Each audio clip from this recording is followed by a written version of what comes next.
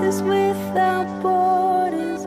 Let me walk upon the waters wherever you would call me. Take me deeper than my feet could ever wander, and my faith will be stronger in the presence of my